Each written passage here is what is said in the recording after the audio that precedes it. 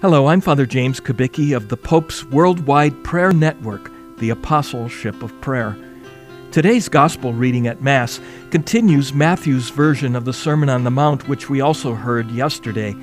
The words of Jesus are very serious and challenging, and I'm sure many people think they are unrealistic.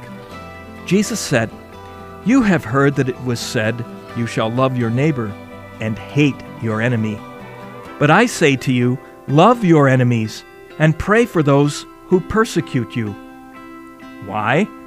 Well, Jesus explains For your heavenly Father makes his sun shine on the bad and the good, and causes rain to fall on the just and the unjust. In other words, God loves them enough to send his Son to die for them, and you should too. Now, in our world today, we think of love as a feeling. It isn't.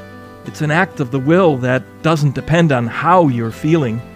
Jesus didn't say you had to like your enemies. You don't have to work up a feeling of affection for them. Love is something else.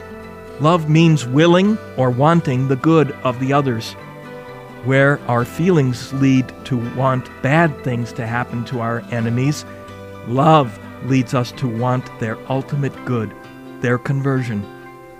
This is so important to Jesus that he has even sent his own mother from time to time to Lourdes and Fatima and many other places to tell us to pray for sinners, for their conversion. Are you doing that?